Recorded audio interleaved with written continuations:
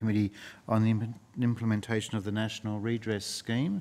Uh, my name is Senator Dean Smith and I'm the Chair of the Committee and this evening I'm joined by Dr Anne Webster and Senator Rachel Siewert. Um, in accordance with the Committee's resolution of the 5th of December 2019, this hearing will be broadcast on the Parliament's website and the proof and official transcripts of proceedings will be published on the Parliament's website. I also remind members of the media who may be present or listening on the web of the need to fairly and accurately report the proceedings of the committee. Um, I welcome to the committee uh, this evening Ms Kathryn Campbell, the Secretary of the Department of Social Services, Ms uh, Emma Kate McGuirk, Group Manager for the Redress Scheme, and Mr John Riley, the Branch Manager, Redress External Management. Uh, we welcome you and thank you very much for making your time available so late in the evening. Um, I've introduced members of the committee. Um, would you like to make a brief opening statement or you're happy to proceed straight to questions? Straight to questions. Great, thank, thank you very much. Well, Secretary, can I just uh, reiterate a comment I made at Senate estimates, estimates just to um, thank you and the department for the um, the cooperation you have extended to this committee over the life of its work thus far in this parliament, and uh, officials have always been uh, ready to make themselves very, very available to our questions, both in public and private hearing, which has uh, greatly assisted our deliberations. Unfortunately, that is a Senate division bell. I'll just check to see if that's a quorum call. Sure, it's, uh, it's a division, so my apologies. We'll just have to suspend briefly until senators return. Um, apologies for that, but uh, the perils of a parliamentary sitting evening. We won't be too long.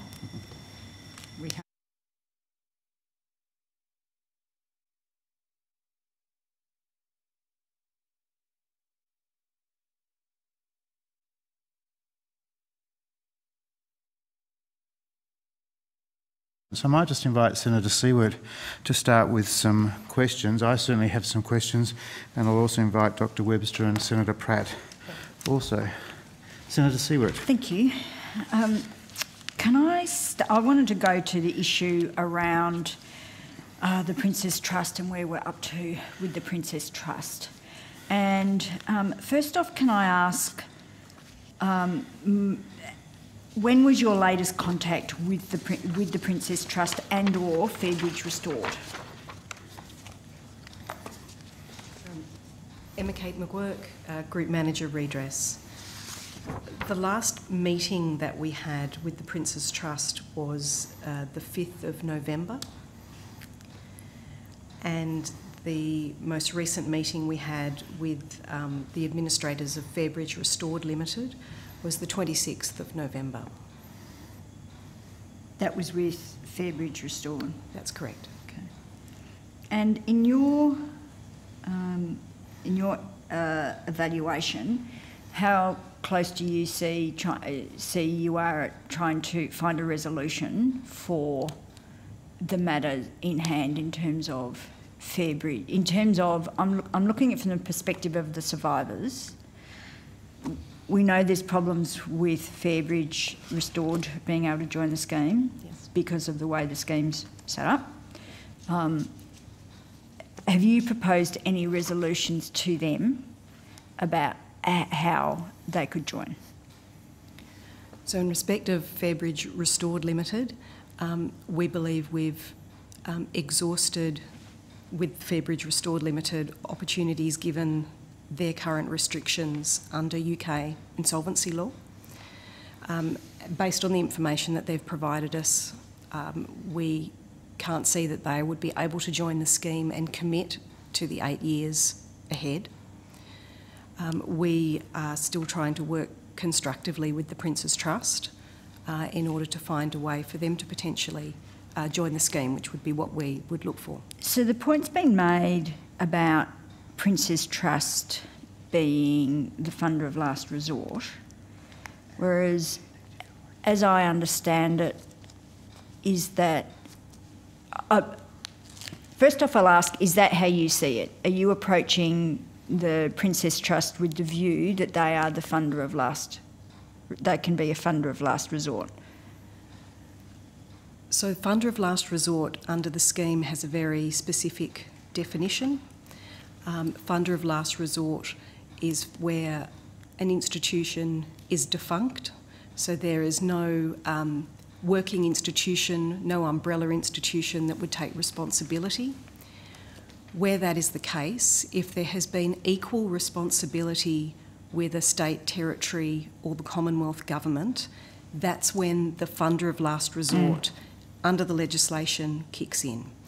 That's not the situation we're talking about That's with right. the Prince's Trust. With the Prince's Trust, we're looking uh, for them to be essentially an umbrella organisation, a related party uh, that would take responsibility um, for all aspects of um, the responsibility an institution would have. So the payments, but also direct personal response. Okay, so on what basis have you, you've explored this or put this to the Prince's Trust? Um, we've been talking with them about it, yes. Okay. And what has been their response? So I'm a bit. Um, we don't have um, full consent based on the last meeting we had with them to, to discuss with the, the committee all the details of that.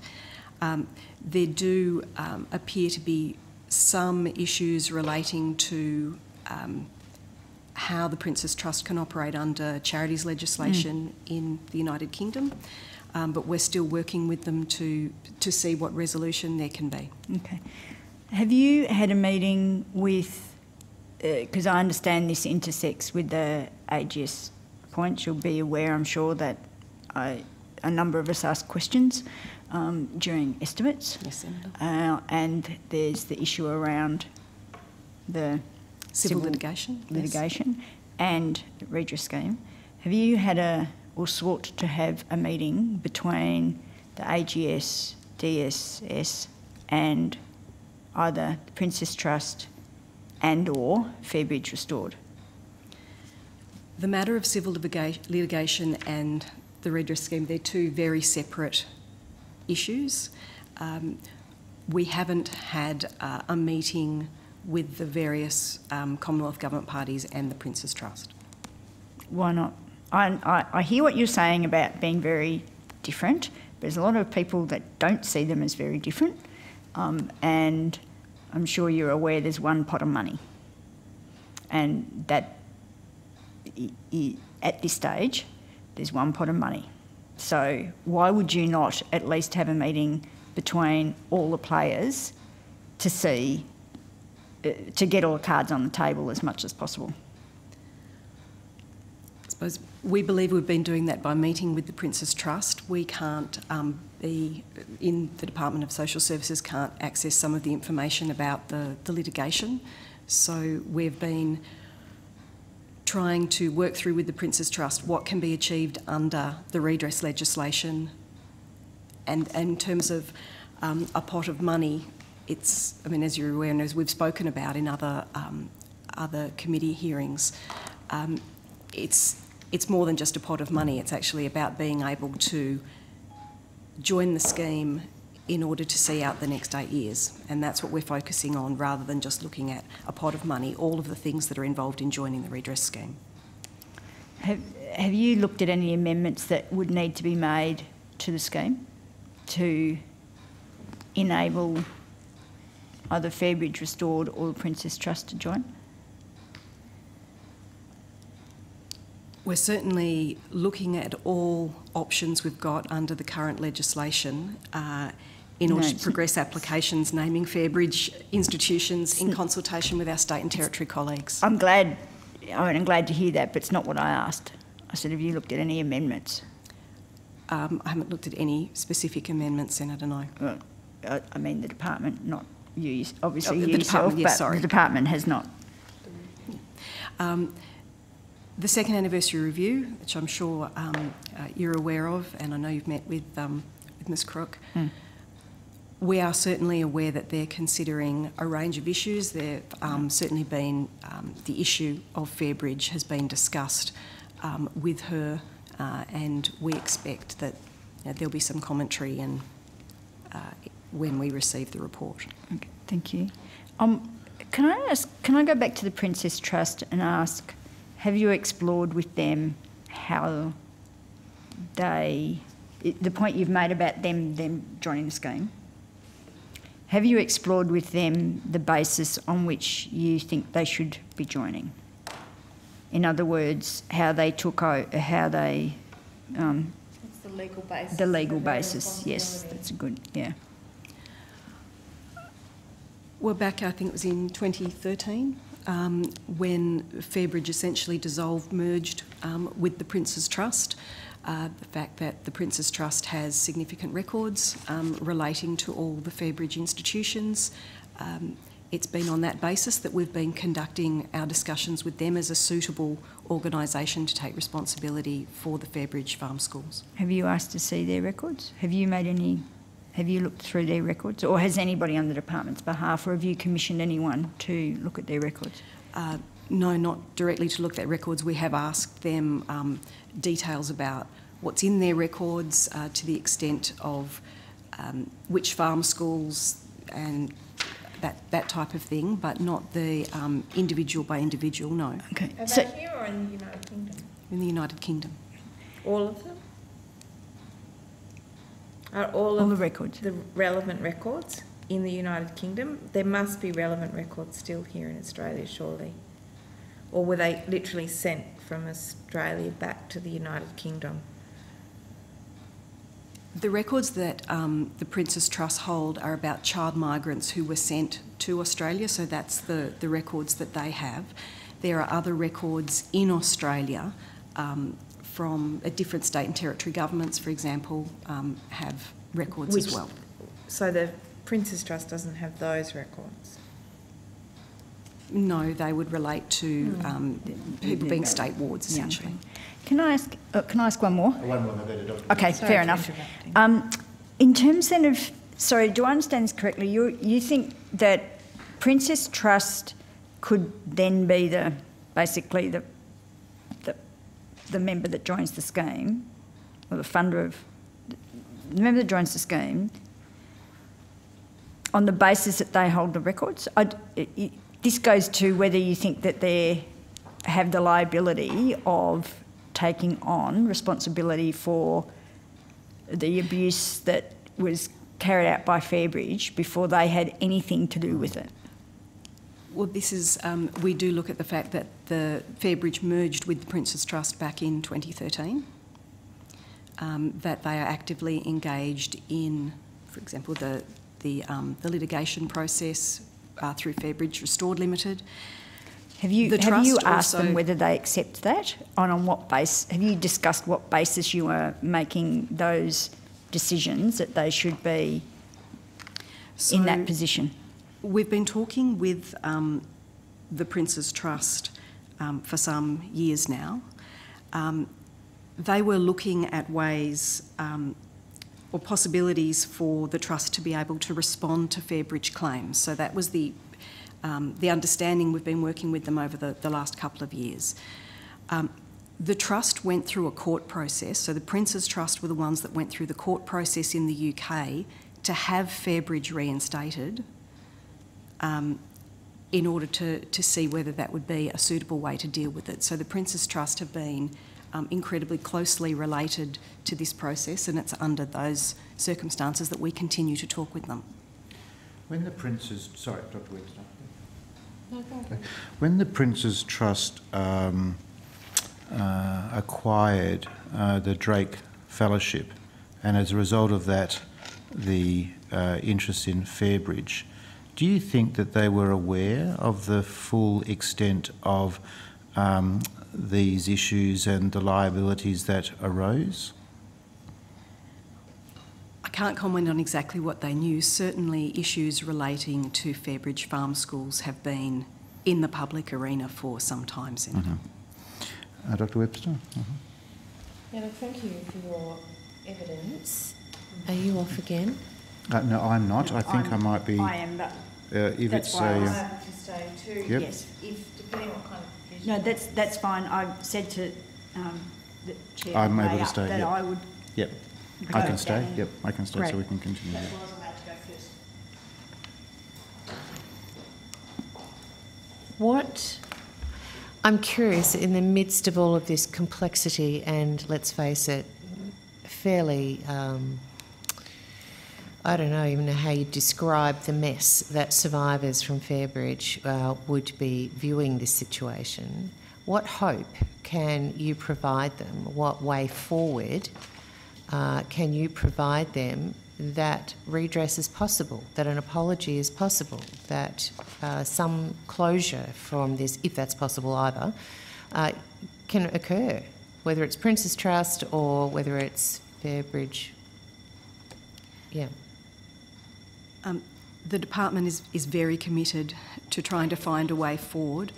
Um, uh, as I said before to, to Senator Siewert, the department's assessing all options that are available underneath the legislation to progress applications naming Fairbridge affiliated institutions, and we're doing that um, uh, in consultation with our state and territory colleagues as well.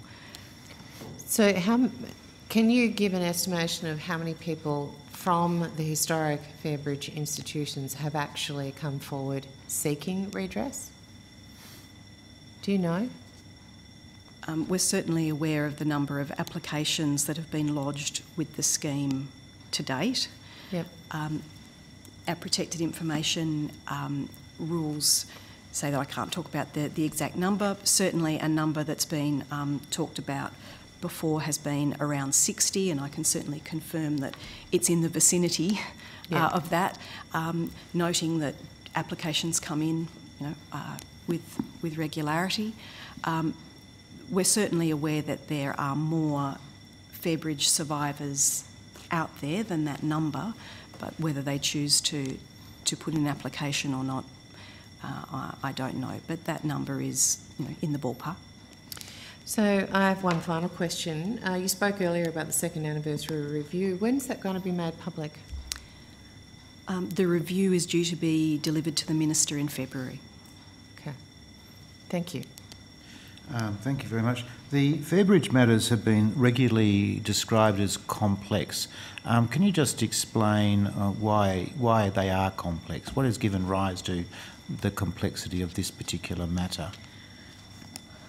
Well, already what we've been discussing with the, the nature of um, the organisation Fairbridge no longer existing and being reinstated, and then when it was reinstated, immediately going into administration.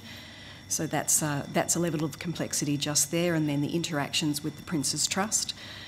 Um, there are other complexities uh, around the number of different schools around the country, so we're not just dealing with one particular jurisdiction.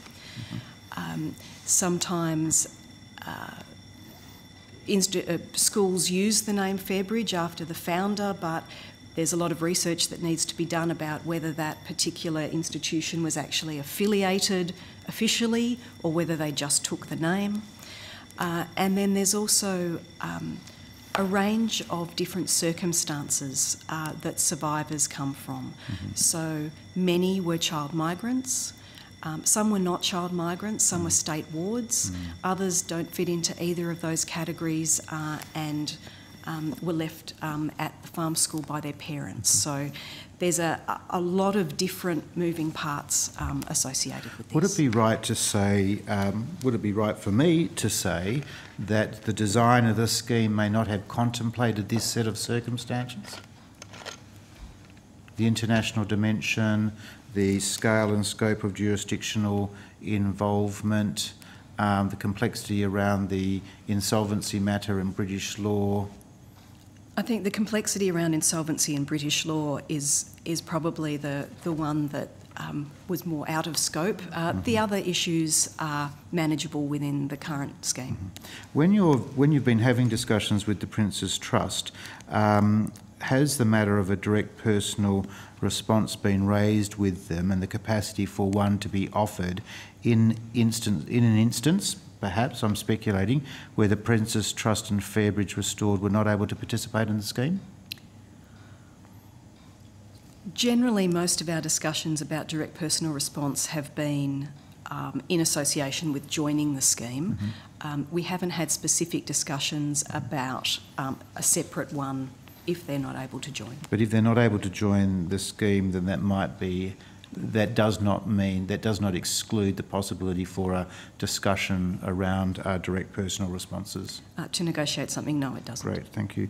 Um, is in the Senate estimates process just recently, I asked officials uh, were they working to a strategy to resolve the um, Fairbridge matter. Uh, the answer was yes, Senator, we are working to a strategy, and I was happy to take that on face value. Are we still working to a strategy? Uh, yes, we're working with um, uh, relevant lawyers, as I said before, to look at what's available under our legislation. This is not a reflection on the DSS, but it is a reflection on the Australian Government Solicitor and the Department of Home Affairs, who I think this committee would come to the view have not demonstrated any sense of urgency or responsiveness to uh, responding to Prince of the Prince's Trust matters. I just want to be very, very sure that the Department of Social Services is responding in a very, very effective and efficient way because I was a little bit concerned about talking about the second anniversary review, review process, which reports to government in February. Government will then contemplate the response. A response is so we're dealing with. You know, there is a, there's an urgency around these sorts of issues and matters that I haven't seen in the Department of Home Affairs and the Australian Government Solicitor, which I am outraged about. I just want to be uh, reassured, Secretary, that um, that you know time is of the essence. Time is of the essence. Chair, I can assure you there is a sense of urgency for us about this matter. I think we've talked about a number of elements of the strategy this evening. Uh, we remain very committed to trying to resolve this as quickly as we can. So, based on the evidence I've heard tonight, um, am I right to assume that the um, the scheme is looking at alternative mechanisms or remedies to deal with the Fairbridge matter? Uh, I think it's fair to say what the evidence that have been given by Ms McGuirk is that we have uh, we have looked at the strategy of dealing directly with the Prince's Trust, with Fairbridge uh, restored, as well as uh, indicated that uh, Ms Kruk, who's doing the second year review, has also turned her mind to this, and we have engaged with her on this as well. Mhm. So, in evidence that's been put before the committee and now is on the public record, it's clear that the Prince's Trust uh, views the it's the National Redress Scheme recourse to uh, redress and the civil litigant path uh, course to redress as one and the same in its views, in its negotiations with government. Why is it that the Department of Social Services hasn't felt the need to sit around the same table um, if an outside entity is looking at these issues as being interconnected? Why wouldn't the Department of Social Service, Services be sitting around the table with the Department of Home Affairs and the Australian Government Solicitor to try and work out these issues? So I don't think we're able to because we're not able to access that information that's held by Home Affairs and the government solicitor And why not? uh, because that information is, um, uh, uh, my understanding, it's legal in confidence to them. Do we have any additional? John Riley, Branch Manager, External Engagement Redress Group. Uh, that's right, Secretary. We, the civil litigation is fundamentally that and separate from the redress scheme. So we're not joined as, DSS is not separately joined as a party We, to we that. all know that, Mr Riley. We all know that now. Why is it that for so long the Prince's Trust has been able to, to proposition to government that, um, that has these matters intertwined? Why has that been allowed to be, why has that proposition been allowed to be put to government for such a long period of time when the government, uh, it's clear to me through, through evidence, have, has never regarded these things as intertwined? So again, this just goes back to my point about, um, you know, um, you know, why have these sort of falsehoods been allowed to, to continue? Why haven't people put themselves around the table? And this was a suggestion I had made to officials and to the Minister that DHA, AGS, and DSS should get themselves around the table to sort this out. But we just heard tonight that we haven't had any, my words, any interdepartmental discussions, which again goes to my sense of concern around urgency. Senator, I wonder whether it's not that we haven't had any discussions. I understand we have had discussions with Home Affairs and the Australian Government Solicitor. It's just that we haven't had discussions with those two parties ourselves and the Prince's Trust. Ah, okay, I take that back. I, I withdraw that. I withdraw that. Thank you very much for that. Thank you very much for that clarification. So, so, um, so we're working to a strategy. We're looking at alternative mechanisms. Are we working to a timeline? Are we saying we want this matter fixed by June and working backwards, or by February and working backwards, or by Christmas and working backwards? So, Senator, I think it's fair to say some elements of the strategy involve others and external parties, which we may not be able to um, keep to a Yep. timeline, but we are working uh, expeditiously. I I know within the department this is a matter that I am regularly briefed on. Uh, I probably deal with redress every day, Yeah, and- um, and this is a regular discussion. And, and, and, and again, Secretary, thank you very much for making your, you know, being present here for us tonight. I, I really do appreciate it, as does the committee. Now, that's a Senate bell, but I can continue to stay. Um, Can you stay, will you stay after nine thirty? uh, I'll have to go, once we do the reels, I'll have to go, yep. Yes. Uh, sorry, so, uh, thank you. Just, um, Senator Pratt, would you, We- We're going to end up, I, I think they'll start chopping things through, very shortly? yeah, we'll based get on to the 9:30. Variation, yeah, Yeah. okay. so Senator some of them Pratt, do you have some- be real, I would have thought. I'll find out. Thanks, thank you.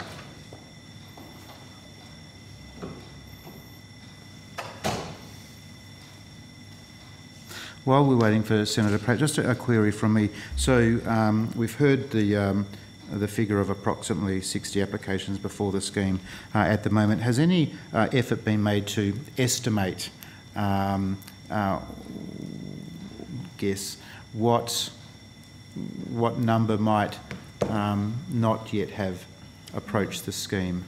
I don't think we have, and Yeah. the initial estimates that were made Mm. at the start of the redress scheme, I don't think we're seeing play out anyway true. on those numbers. that's right, So yeah. whatever we had, I don't think um, we would use again because it's not I, playing out. I, I'd agree with that. That's right. Yeah, I agree with that. Very, very difficult to um, difficult to contextualise. So, um, so then, so what is the what, what are the what are the next three or four steps in the process in regards to the Fairbridge matter? Because this is my uh, again, I've, I've shared this uh, um, uh, in the in the Senate. I am someone who believes that the scheme has improved considerably since inception. There has been necessary recalibration, but that has worked well. I think it, it is absolutely delivering outcomes for people. Um, but the Fairbridge matter has been a um, has, has been a difficult one. Has been a difficult one, and and I characterise it as unique. You know, a set of circumstances that perhaps couldn't have been foreseen.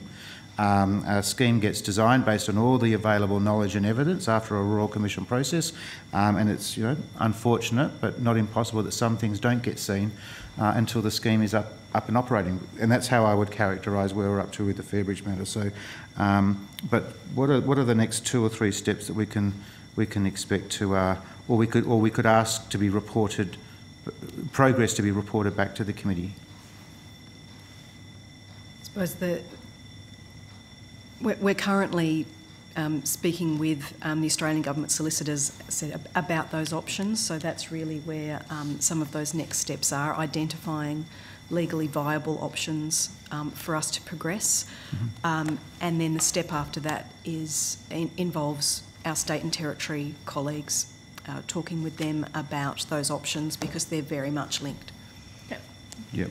And, uh, and, and again, I think I've said this on the public record. I'm in receipt of a letter from the Premier of Western Australia who has said uh, that he's very, very keen to, to, to, uh, to deal with these matters expeditiously, uh, was, his, uh, was his words. Yes. So Senator, uh, Senator Pratt, sorry. Yep. May, may I ask, uh, do you have any sense of the records in terms of assets that Fairbridge disposed of in Australia? So clearly you've talked about them being transferred to other school identities.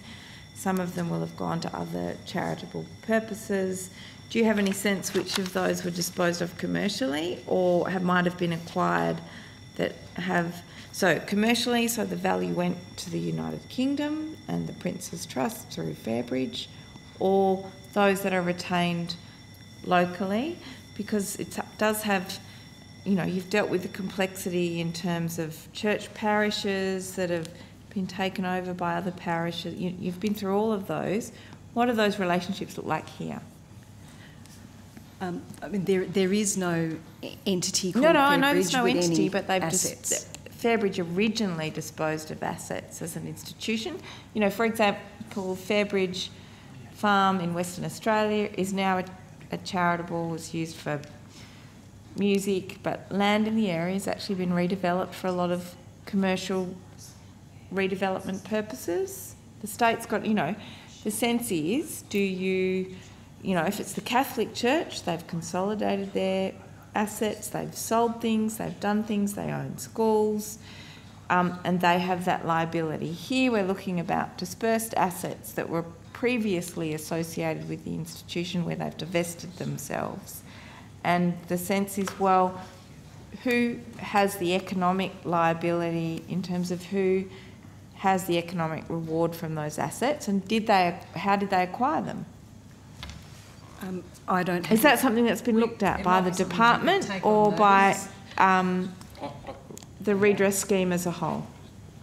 So, as part of an, any institution joining the scheme, we, we look at its, in its simplest form, we look at two consecutive years of financial statements. We make an estimate of their redress liability. We then make a, we make a judgment of the, of the risks Okay. You? associated with that. In this instance, Mm. we've never got that far. Okay, you never even got that far. We've never got that far with Fairbridge because Fairbridge Restored Limited was unable to join the scheme. So we didn't have an institution to, to seek that information Did you do any of the more historical inquiry about whether, you know, are there other institutions you should have chased? How do you work out who is actually liable in this case? So, for example, I take the example of all the people over history that were at Fairbridge Farm in Western Australia.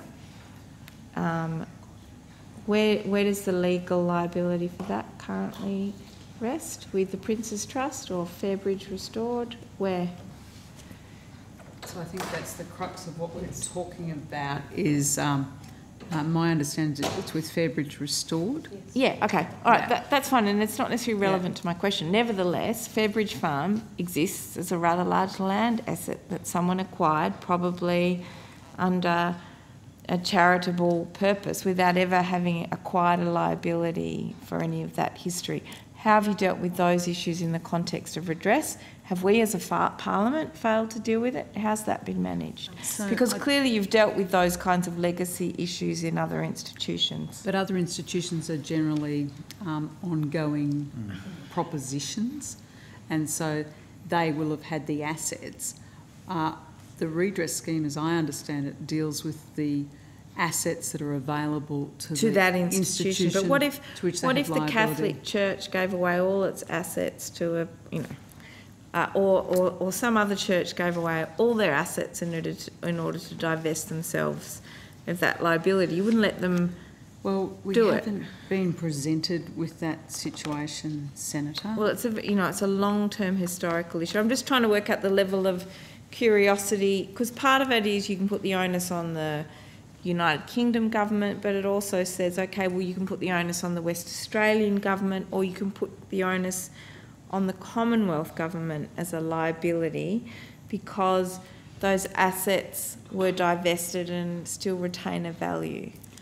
Uh, so my understanding is the legislation doesn't go to No, it what may have been in previous organisation. It goes to the institution which holds liability and their current assets because of the need to join the scheme for eight years and for to be able to fund Yeah. those issues. And in, in a general sense, the Parliament was confident that we had a money trail that we could follow under those circumstances. But I think Fairbridge, uh, even historically, when we put redress together, was always a marginal proposition in that in that context, as far as I could tell, even reflecting on the parliamentary debates at the time. Um, and you know, I'm not saying that's it's not the fault of the bureaucracy. It might well be our fault as legislators. Uh, but there are still significant assets uh, that Fairbridge used uh, right around the country. But I'm not sure that they, I understand your point, which is who has now got the economic benefit from those assets. Uh, well, were they? Did they buy them or were they given them? If they bought them, then where did that money go?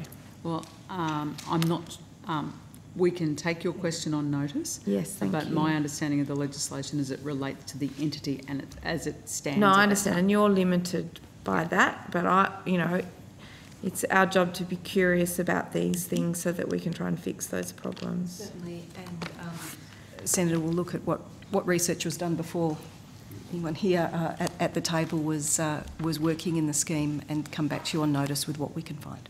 Thank you. I think that's questions? me sorted. Yeah, we, um, we're, we're just uh, preempting a series of rolling divisions now that the guillotine is, well, I shouldn't say the guillotine, the variation of business hours is about, Guillotine, is about to, is about to kick in. But again, can I just um, uh, thank you for um, uh, being willing to appear before us. Um, as you know, the Fairbridge matter is top of mind for the committee, but as is the second, um, the second independent review process. So we are looking forward uh, to that, and um, any information that the department feels that you, you might be able to provide to us over coming week and uh, um, um, weeks uh, in regards to Fairbridge matters or any key developments would be much uh, appreciated. And again, we appreciate you are um, uh, waiting for us while we concluded our private hearing on a matter uh, and then making yourself available for this public hearing. So again, we're very, very appreciative of everything you do for the survivors and for the scheme uh, and your attentiveness to uh, our needs as a, as a parliamentary committee. So thank you very much and, and good evening. Thank you. Thank you very much. Thank you.